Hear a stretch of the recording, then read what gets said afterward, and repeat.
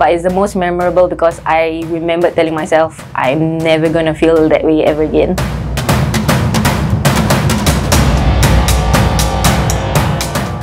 Hi, I'm Suhaila. This is my get to know me video. Uh, Suhaila, May, and baby girl.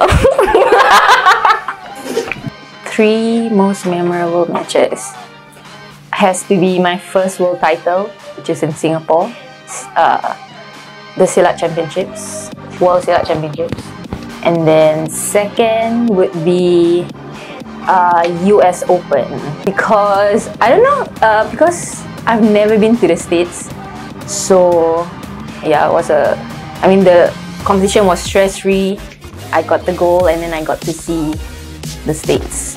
And then lastly uh, favorite competition I think when I was 11 yeah I was 11 years old and then uh, this is a bad thing because I lost and I was crying but it's the most memorable because I remember telling myself I'm never gonna feel that way ever again. And that's how I started like working harder and then like winning my matches. Um what I don't know. Uh, that's actually really hard okay I can cook grilled chicken and broccoli because that's what I used to eat a lot when I was on a diet when I had to like lose a lot of weight. And then uh, mostly pasta dishes, spaghetti or like carbonara. Three pieces of advice. First, I would say uh, embrace discomfort. Uh, second, I would say know when to give up. Because a lot a lot of people say like never give up but like to me it's if something is not uh, if something is hindering your growth and making you unhappy then know when to give up and like kind of find a different route or like navigate. So and then lastly is to always protect your peace and your energy one i like to read Secondly, I am actually the last of three. I'm not the only child. And lastly, uh, I think people don't know that I like to be alone. I like to sleep. I value a lot of uh, alone time, basically. I wish I can sing. I wish I can dance. uh,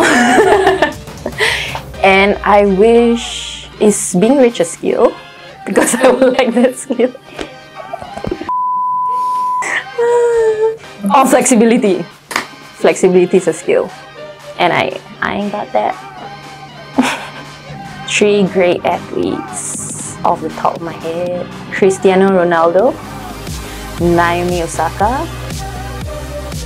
Uh, let's go local. Sheik Farhan first three wins. Uh, shit, so hard because I started competing uh, at 11 years old, so that's too long for me to recall. But uh, I can tell you the first. Uh, my first win is like I said just now. Like my first memorable one was the one that I lost. So my first win was like right after that.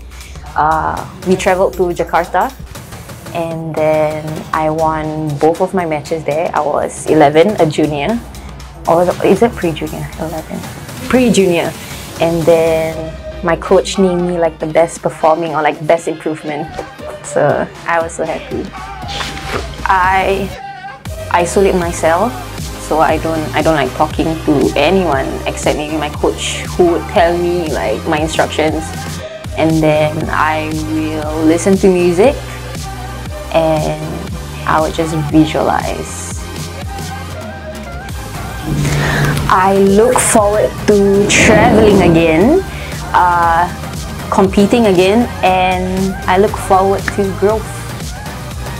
That's all for me. If you would like to get to know more of my teammates, don't forget to like, comment, and subscribe.